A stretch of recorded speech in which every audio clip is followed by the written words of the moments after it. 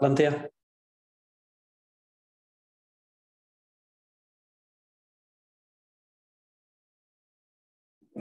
Well, good morning again. Uh, welcome to our second webinar for today. So um, today's webinar is on the stock crossing bylaw for 2022. I'll just run through a few um, rules going forward. So the house rules of uh, Zoom. So just be patient and courteous to one another as we use this technology in a public meeting situation. If you have got some questions, please use the Q&A function to ask those questions and just use the chat function if you just want to leave or make a quick comment that doesn't require an answer. Uh, once a question is answered by either myself uh, or one of the panelists, we'll move it to the answer tab. Uh, you'll also be um, able to um, raise your hand if you wish to speak to us at any stage throughout this process. Uh, but, but, also be warned that this is being recorded and will be available for the public to view. So once again, Mayor Toby Adams, Hauraki District Council, I'm joined today with Plains Ward Chair Ross Harris and Councillor for the Waihi Ward, Duncan Smeaton. So on today's agenda, we're going to go through the uh, Franklin District Council Livestock on Roads Bylaw 2010. We'll go through our proposed stock crossing bylaw 2022, uh, stock crossing permits, what they mean, stock underpasses, what is our timeline, how you can provide some feedback, and any questions that we have at the end. Okay, so um, we already have a Franklin District Council uh, livestock and roads bylaw from 2010. Um, so this bylaw is in place for the Wharekawa coast area and it was made by the ex-Franklin District Council. And this currently applies only to the ex-Franklin District Council area. So we're proposing to revoke this or remove this historical bylaw because it makes sense to have all areas of the, of the district under one bylaw, which is our proposed stock crossing bylaw 2022, which we'll explore now. Thanks, Duncan. So what is this bylaw? We're reviewing our stock crossing bylaws because we haven't reviewed it since 2007. So a lot of time's passed since then. It contains rules for crossing stock across and along our roads, not state highways, so just our local urban and country roads, rural roads. The bylaw is in place to protect the safety of our road and our users and also to reduce damage on our roads. We're proposing some new requirements in our draft bylaw and we're here and happy to talk you through some of these changes. Thank you, Mayor Toby. Stock crossing permits. Our existing bylaw requires all stock crossings to have a permit. We haven't enforced this in the past. We propose that most roads won't require a permit as long as minimum safety conditions are met. Some types of roads will require a permit depending on how often you cross stock. If you cannot meet the minimum safety conditions for stock crossing, you will also need a permit. So here's a little bit of a table about how it can look uh, for the end user on would they or would they not require a permit. So as you can see, um, the table shown in gold, that's where you would require or need a permit. And in green, uh, you would not need a permit. So, and we have a list of roads on our website if you'd like to check out the requirements for that specific road. Okay, so uh, you won't need a permit when the following conditions apply. The road is unsealed with less than seven crossings on average per week, or the road is a sealed rural road, but with fewer than 200 vehicles per day, and you expect less than five crossings on average per week. The bylaw conditions are met regarding site, as long as the bylaw conditions are met regarding sight lines, safety, and protection of the road surface. These conditions include things like high visibility vests being worn by people on the road, some advanced warning signs provided, stock are not moved during darkness, and the crossing is maintained and the road kept clean after crossing. So if you satisfy those, you won't need a permit. So when will you need a permit? So if your road is shaded gold in the table for the average number of crossings you make, you'll need a permit. You'll also need a permit if you cannot meet the conditions that we've uh, that Duncan uh, alluded to in the previous slide, e.g. for some reason you cannot provide advance warning. We may ask you to apply for a permit if we receive complaints about your crossing, for instance, if the road is being damaged or if there's excess, um, excessive excess effluent is left on the side of the road. The permit application fee is proposed at $250 and that permit would be valid for up to five years. Permit conditions. Conditions imposed on a stock crossing permit may include things like days or dates and times that stock may be moved, areas designated as rest or overnight areas, the number of drovers required to be present during the movement. We may require the permit holder to provide proof that it holds an acceptable public liability insurance policy or any other form of indemnity.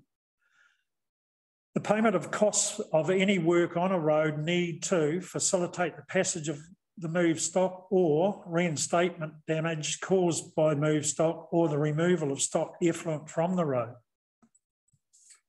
Uh, so inspections of crossings, we may need to inspect stock crossings, roads and or the environment to check if the bylaw has been breached for one, confirm the stock crossing permit conditions are being met uh, as set out in your application and validate information contained in any stock crossing permit applications. And based on those inspections, we could require you to apply for a stock crossing permit, decline or revoke or suspend your current permit applications. Okay, so what happens if you breach your permit? We will ask you to explain why your permit shouldn't be revoked or suspended. After your explanation, or if you don't respond, we could revoke the permit or change the conditions. And if you've damaged the road, you may be required to pay the cost of repairing that damage. If the bylaw requires you to have a permit and you don't apply for one, you could also be liable to a fine of up to $1,000.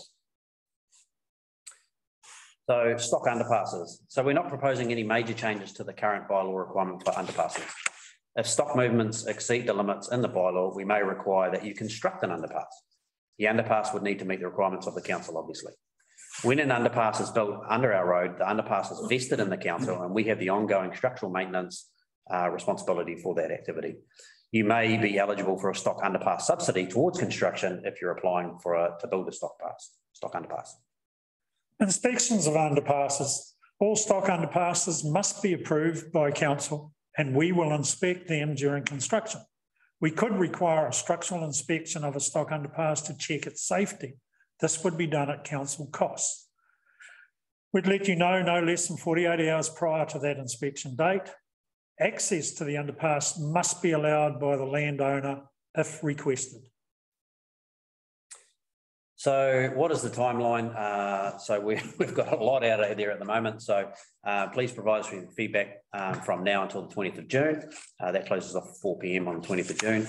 On the 13th of July, we'll hear some of that feedback. On the 29th of July, Council will consider the final bylaw. Uh, and from the 29th of July, we'll prepare and implement the bylaw. This will, will include writing to those who might need a permit. And from 1 September, the bylaw will be in effect. How can you provide us feedback? Well, there's many ways to do that. One is on our We Need to Talk Hauraki website page, or you can email us at info at hauraki.dc.govt.nz. You can print out the form and post them to us. You can go to the office or our libraries or our, one of our service centres and pick up a copy of those. Uh, you can also put um, your messages on our official Facebook page and we'll take those in consideration. But please don't hesitate just to contact one of us or any staff member at council and we can help you put those thoughts down on paper for you so that you get listen to. Uh, we obviously get um, have issues, and that's why we need to come up with bylaws uh, and have that process. But we really need to hear from those that are out there using it, and for those that are um, road users going through those to provide us the feedback, so we can provide the best solutions for everybody, so that we've got good, clean, fixed roads, uh, and everyone's safe, whether it be a human being or your stock. Uh, we've had a few questions come in, um, a couple of questions come in, and I'll ask those now. And if there are any questions from our attendees online, please don't hesitate to ask a question in the Q&A function. We, we encourage that. So um, a question for you, Ross. Why fix something that isn't broken? Well, Mayor Toby, uh, it may not appear broken, but we are seeing damage to our roads where stock are being crossed, which means increasing costs to the ratepayer to repair. We also receive numerous complaints from drivers about effluent on their vehicles. At the moment, we have a bylaw that requires all stock crossings to have a permit, and none have permits.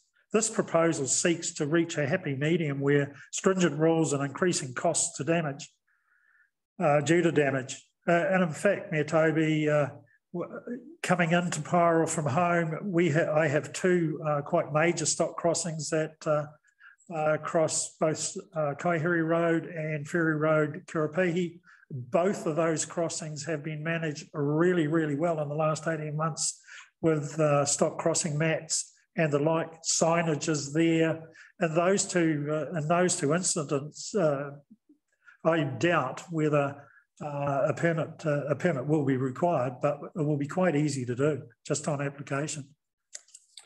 So a question for, for you, Duncan. Um, being a dairy farmer, uh, cows don't damage roads. Why are you penalising farmers? It's, it's a, we always get a question about penalising farmers and it's, it's not about penalising anybody, is it? Well, of course, it's quite hard to penalise cows, but that's a rather simplistic answer, so we can't say that. But the effluent from cows does damage roads, I'm afraid, especially regular crossings, they do eventually damage the roads. And this is evident when you look at where the stock cross in areas where, and then in other areas where the road is kept clean. The damage can be seen with the effluent trailers, while the surrounding road seal is not damaged. I'm afraid it's that simple. Thanks, uh, Duncan. And we've got a um, question uh, online. Uh, so it says the green roads. So those are in that uh, earlier chart. How is the less than 200 cars a day measured? Uh, we've got uh, already extensive knowledge on vehicle movement across all our roads throughout the district. But if there is a particular road where we need to measure it and get a, a more accurate, up to date, um, it's easy to put a traffic count measure in place um, to ensure that we've got the right information because um, we don't want to penalise or make it harder for people where, where there are less than the 200 cars a day. So hopefully that answers your question there. Is there any other questions from, from some of our online attendees? Um, if not, um, once again, uh, if you think of something else or a question that you may have um, after watching this currently live or gone to the recorded site on our Facebook page or our YouTube channel and have a question, don't hesitate, pick up the phone, um, crack open your laptop, flick us an email with your question, ring any one of us, councillors, mayor, myself, um, any one of the councillors within your area, and we're happy to provide those answers for you um, or go online into one of our service centres, fill out a submission form and be part of the process. And you can come and sit along uh, with us at council when we hear all those and uh, hear how we make our decisions. Uh, we'd, we'd, like to encourage that as much as we can. So if there's no other questions, uh, we'll leave you with that. And thank you uh, for those that joined us online and those that are watching at a later date. Really appreciate you tuning in and seeing what we're doing. Uh, enjoy the rest of your day and have a glorious weekend for this long weekend. Thanks. Cheers.